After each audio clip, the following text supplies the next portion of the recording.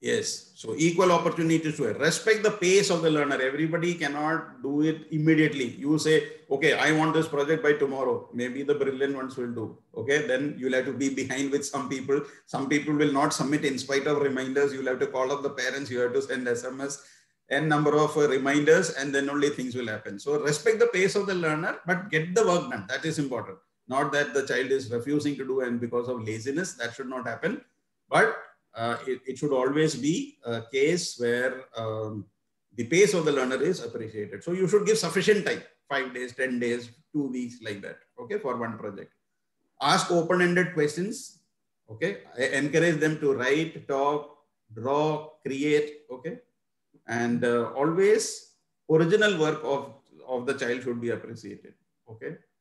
Not that uh, they have edited, they have Googled somewhere and done. Original work should be displayed and uh, always encouraged. And don't compare two children, they're always different and every child is unique. So that's there. So that is what, so artistic quality, we should not comment and do not arrive to the classroom with preconceived notions. That is very important. All the children should participate. So this book you should go through. Actually, it is a very nice book. You will find a lot of ideas. I will also show you a second book. See, the teacher herself is participating. When the teacher participates and then what happens? The joy of learning is you know increases manifold. So this is the role of teacher. They have given projects and so on. So what i will tell you to do is this is for every subject huh? hindi english hindi everything they have given. Okay? They have given now specific projects. Pictorial sequence assessment tools. Okay? These are now activities. Class wise activities are there. You can go through that. Okay? Class 4 uh, what are the activities that can be done. If you've already done, fine. But if you have not done, you can go through this book. Uh, I will be circulating this to Sister Preeta. She can circulate to you. So all this upper primary class six English, all the subjects, all classes are given in this manual. Class, class seven science. Okay, how this is the human respiratory system. So what is the target learning concept? What type of project can be given? What is the materials required?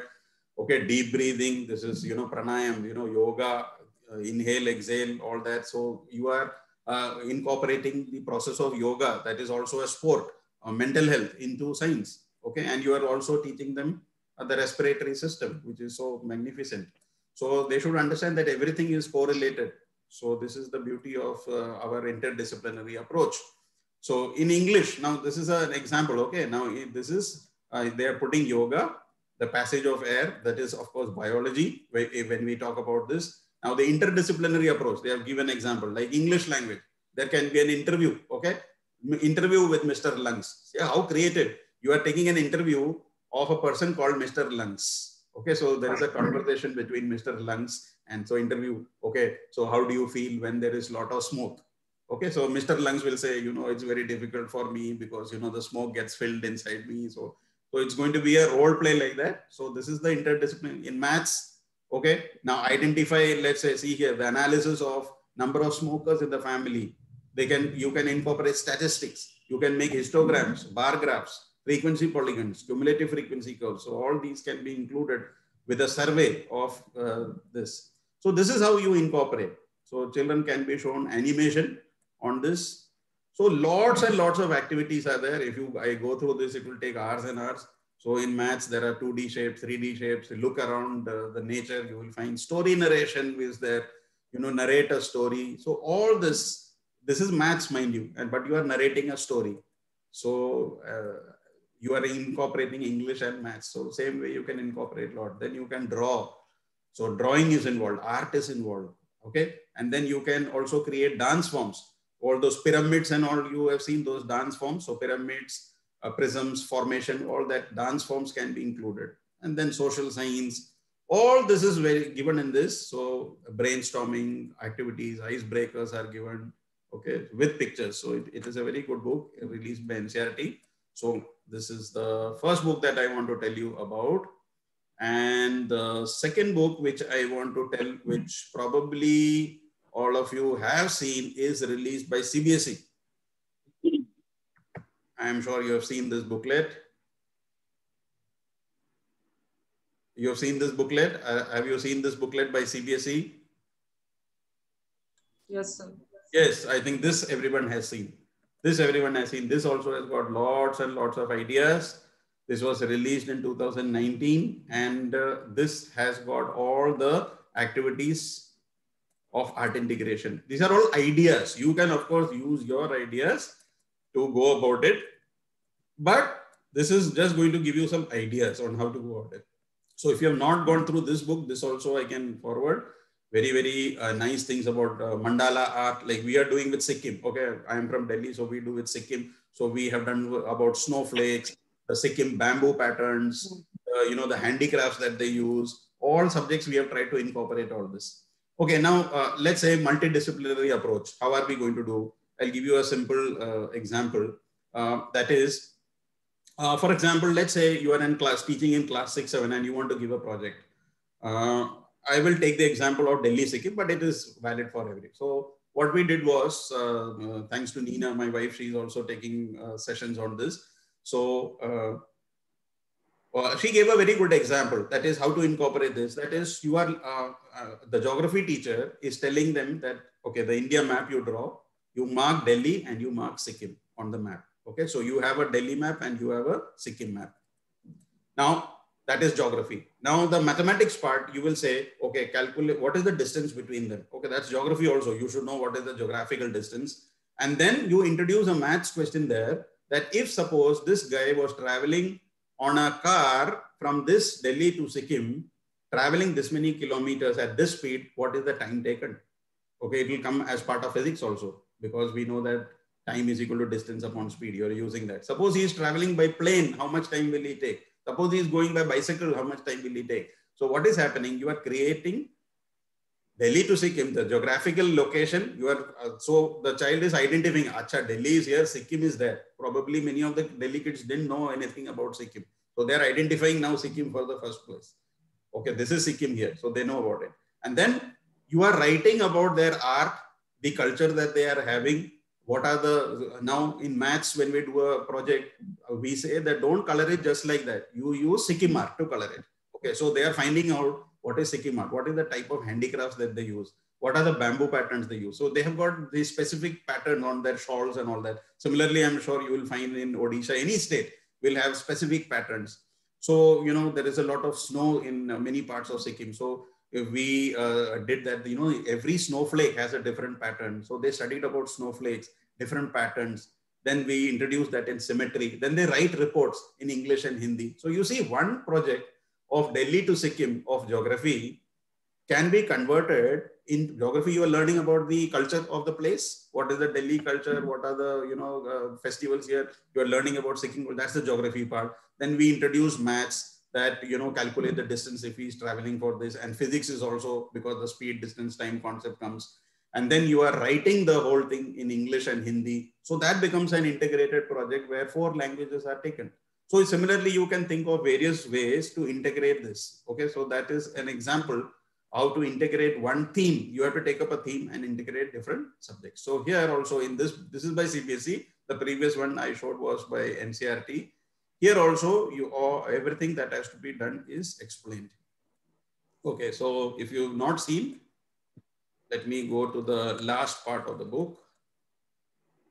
Of course, the main aim of all this, see, this is the, uh, which is given according to state, what is the dances, festivals, art forms, traditional traditional food, everything is given. So you can find out for your state.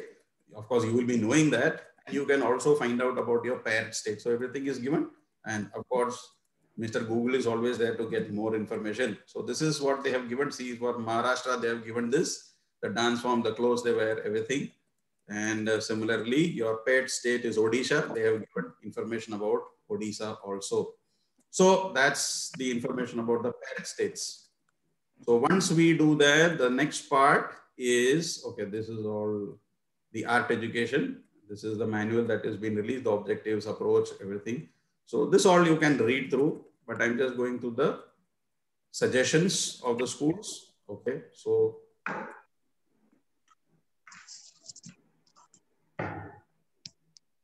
Okay, so performing arts, music, vocal. You know, some uh, teachers, music teachers think that you know this is not our job, but singing can. Through singing, we can incorporate so many things. You can ask the children to make songs.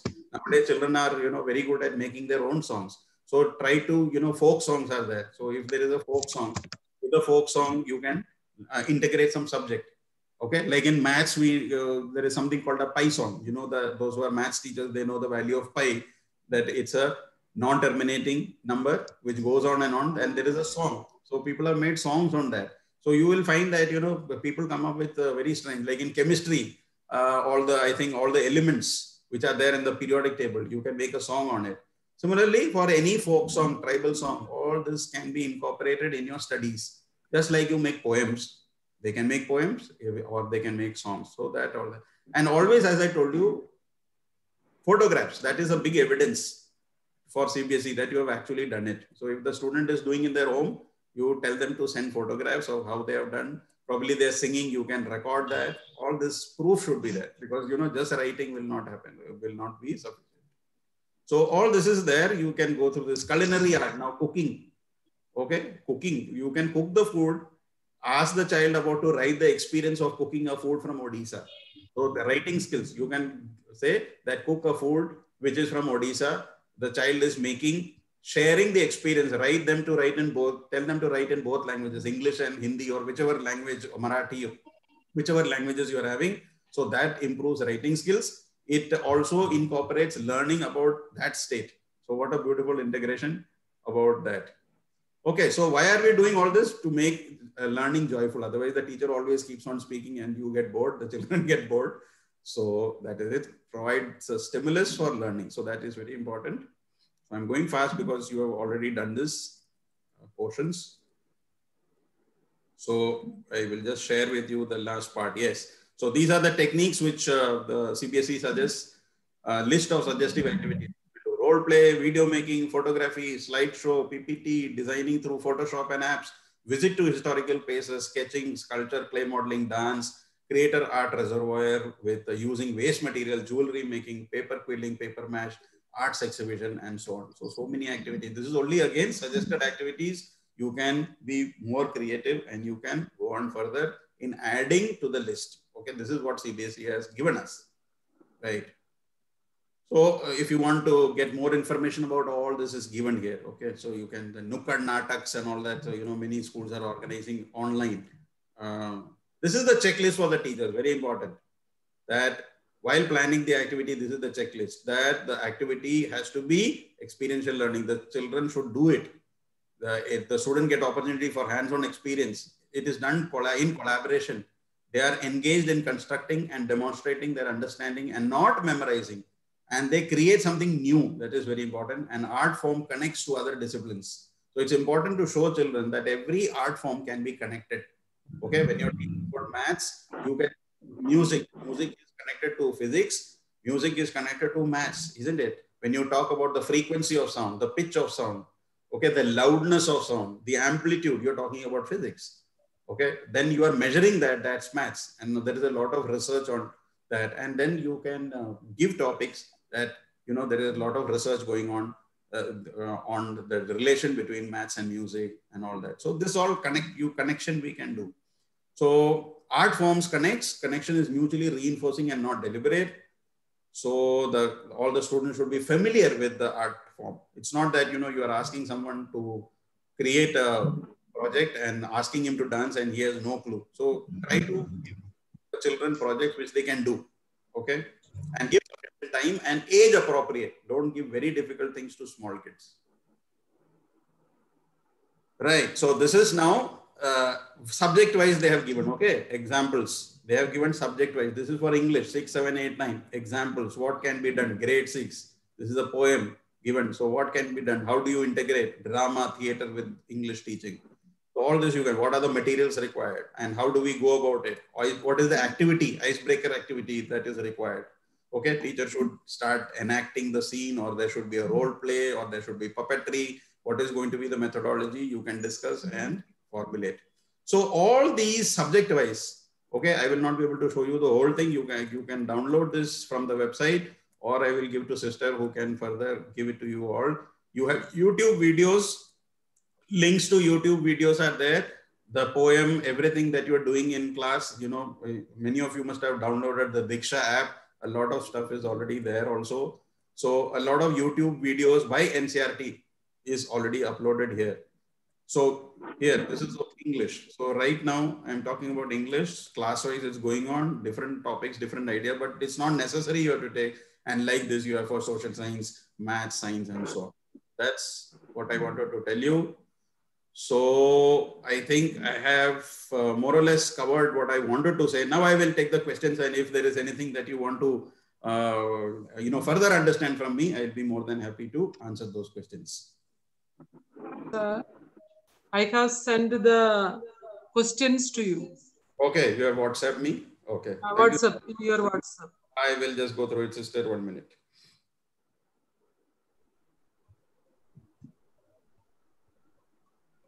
Yeah, I've got. Thank you. Okay, the first question: What is uh, art integrated? What is art integration? I think I have answered. What is art integration? Is you have to basically select art forms and integrate in your classroom. Whichever subject you are teaching, you could be any teacher, but you need to integrate any one art form: music, dance, clay modeling, role play, PPT, slideshow, anything, any one dance form into the classroom. So that is important because it becomes meaningful only if you integrate at least one. You can integrate more than one, but at least one, you should do that. Is it mandatory to integrate art form of the paired state in all activities or projects of each level, or should we do with one project of any one subject?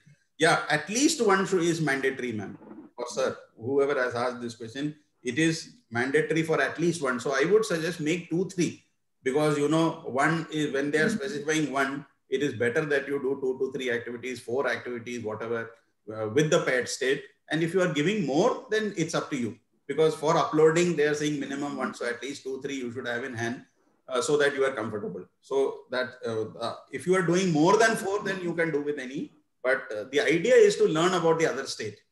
So because you know this is an opportunity given by CBSE to learn about another. Otherwise, nobody knows about many of the states. So uh, that this is the problem. You know, we are so uh, involved with our own surroundings that the other state is forgotten. Clause five to eight, can we integrate all the five to subs in a single activity? If yes, how? I think I have just now given an example of the Delhi Sikkim. Same way you can take Maharashtra and Odisha. Uh, geographical on a map, Indian map, political map, you can ask the student to shade Maharashtra and you can ask them to shade uh, Odisha and then uh, you can ask them, the social science teacher will ask them to find out about the culture, food, the dress, the festival, about these two and, you know, compare, make a, uh, you know, what are the dance here, what are the dance there, like that. So that is a comparative social science. The maths teacher can, you know, as I told you, uh, uh, tell them to do the, calculate the distance or find out the distance between the two states.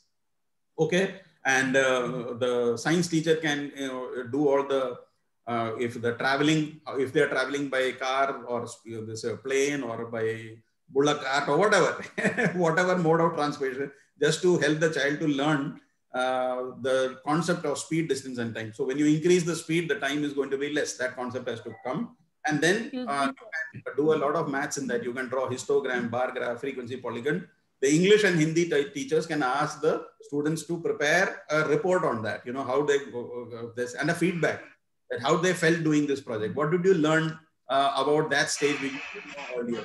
So reflections are very important. The project is important. So anything with the child, ask the child to write a poem or uh, write a song or anything that they felt while doing the project. So those are all reflections that can be put in the end of the project so that, you know, all the subjects can be incorporated particular lesson with cultural trait of the paired state when there is no reference connectivity uh, given to the state. Okay, how is it possible to relate a particular lesson with the cultural trait of the when there is no reference given in the lesson? Okay, so uh, if suppose you are giving for maths and science, it's pretty easy. You can connect it because it's universal. So let's take uh, an example in English and Hindi. If I if I, I suppose you are referring to that. So if suppose you are teaching one topic in English, okay, and it's a general topic. So what you can do is probably, you know, uh, find out, ask them to find out who are the writers uh, who write similar in similar fashion in that state. Who are the writers in that state? Okay, who are the people who are the good writers of Odisha, and uh, who are the good writers of Maharashtra? And then in a lesson, what is the exact lesson? Uh, what you can do is, you know, earlier in English and Hindi, they used to make those portfolios right? Even you can continue doing that portfolio. And then what you can do is that you they do coloring and do the this thing, no coloring and they cover it and all that. You can ask them to use Odisha art. So you can, you know, on the cover page, there can be a Odisha, uh, you know, couple dancing to the this thing. Inside, they can decorate with some Odisha handicraft. So all this can be done in that. So they not only uh, are doing the lesson, but they are also learning about the handicraft, the culture, the food, the dance forms of Odisha. So that is how we can pair it. What is the role of a teacher in this as a facilitator? What can the teacher do to improve the projects of the children? Okay, so the role of the teacher is just to guide them what has to be done, where they will get information. Okay, that is your job. You don't have to give any information. You just have to help them to find out where it is and uh, from different different sources. So you can from Wikipedia, from Google, you can do a research and tell them, okay, these are the areas which you can find out. This is only for reference. Now, if you want, you can uh, try out other sources. Okay. Uh, okay, so what can be the teacher do to improve the projects of the children? You can give your valuable feedbacks, but the CBSE says no discriminative comments. Appreciate whatever is done. If somebody is not doing work or somebody is, uh, you know, lagging behind, and the, you know, if you're doing group work, and they uh, then always encourage the child and give more material. Try to find out what is the problem by, uh, you know, how do you communicate? I don't know by phone call or SMS or WhatsApp. Try to find out what is the problem and then facilitate. Get the work done. That is important. Whether it is of very high quality or uh, medium that is depending on child to child because everybody cannot submit excellent work because all our children are you know unique. They have their problems here and there so some may be very good artists they will give you excellent work some may not be so but appreciate the process as it is mentioned appreciate the process not the product Okay, so that is there. Can you give some concrete examples of activities that can be conducted in various subjects? I have given this booklets that are there, ma'am, uh, that I have shown, the NCERT and the CBSE. I will send to you if you have not got that. You can download and lots of activities are given there already. What is the marking criteria in the project? Now that marking criteria also is given in the uh, CBSE manual, but you can devise your own. But remember that it has to be foolproof, not that you are using uh, one uh, technique for one student and another. Should, you nobody should question you how you have given the marks. Okay, that's important. So let's say the child has submitted the work. You are going to judge on what? On the on the content. Okay, the content. Let's say you are giving two marks for the content out of five. Okay, then uh, you are giving for the presentation, how the child has presentation, how the child has collaborated with the others. That is peer assessment. One what we call it. If it is a group uh, work, then peer uh, then somebody may say, uh, sir, uh, there were five people, only four of us did, this person didn't contribute anything. So, the, you know, the peer assessment is very poor. That means that child will get low marks on that collaboration work. So one mark he will lose because you will have to give him marks because in the project his name is there. So you can use your own uh, methods to evaluate, but it has to be uh, uniform for everyone and nobody should question you. It has to be very foolproof. Why you have given five marks to the student, why four? uh, then otherwise, you know, parents will have objection. You know, my uh, child did this, but you have given only four. The same work was given by another student, you have given five. So the CBSE also wants definite uh, markings under different heads. So it is better that you plan out, better that it, it's a uniform pattern throughout the school so that there is no confusion and every teacher doesn't decide on their own to give the pattern. So if you decide on one pattern for the whole school, that will be very good. Then which part of the activity is to be assigned more weightage? Is it the subject part or the art part? Has the art teacher to play any role with the making of the system? So which part of the activity is to be assigned more weightage? Is it art or the subject? Uh, it is a combination of both. So subject is definitely important, but the art form is also important. So if it is only art and no content, again, no, no point. The content is important. So if it is only content and no art form, again, no point. So maybe you can split it two and a half, two and a half. The content has to be there and integration has to be there because only content we were doing all these years, nothing new. So the art integration means the child has to incorporate something into the project. Then only it becomes an art integrated. Otherwise, no. Then uh, is the art integrating learning project a one-time single activity or a series that has to be carried throughout the year? Okay. So as of now, because of COVID conditions, uh, you know, it, uh, I'm sure the CBSE is going to be a little relaxed a little bit this year, but we don't know what is going to happen when the NEP comes in 2021 or 22.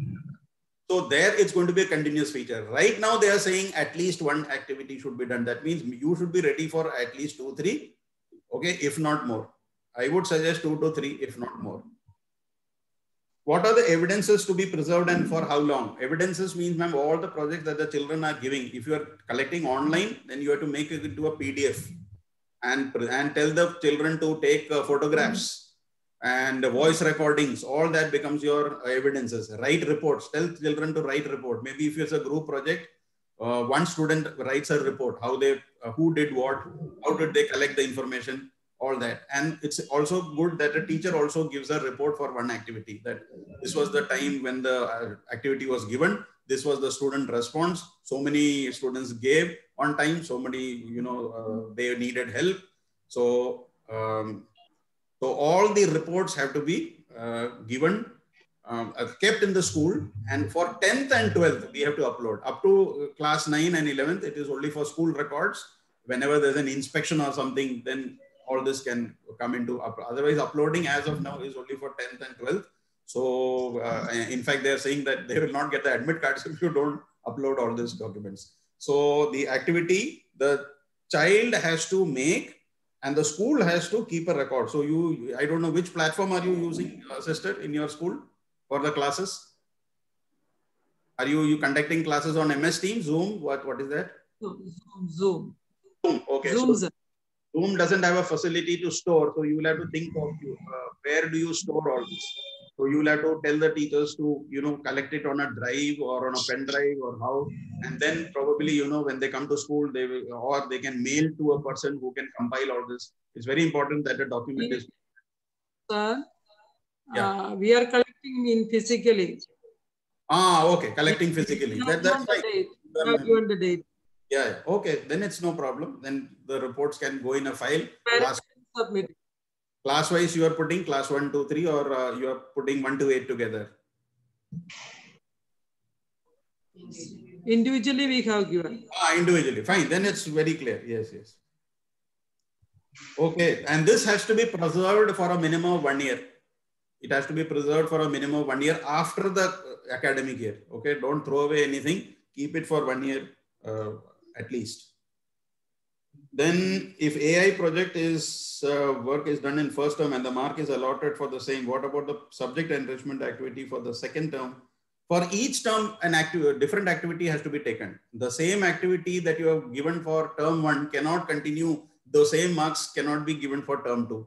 Okay, so suppose a student has not done in term one, uh, then uh, it's not that term two he will not do. So term one enrich, subject enrichment should be different. Term two subject enrichment should be different. So if he has done in the first term and mark is allotted for the same, that is only valid for that term. For the second term, you should take another one. Not that one activity is done for the whole year and that goes on. What about the conduction of ASL as a subject enrichment activity for languages? So if you are talking about uh, the ASL, that is only for English, I guess, and that should continue as an activity which, so previous ones which you are already doing, that is already being done by the schools. Nothing is discontinued. That can go on. Now, uh, if you, you can take it as a multiple form of assessment. ASL can be a multiple assessment format. So subject enrichment activity can be this. So I think I've answered anything else. Any other questions? Excuse me, sir. Uh, we are about to log out. Hello. Okay, so we have to uh, log in back. Hello, sir. So just log in back. In case we log out, we you'll have to log in back because we are we are finishing Yes, one. Uh, sir, it is uh, it is Yeah. integrated. Hello, am I Yes, sir. audible? Ah yes.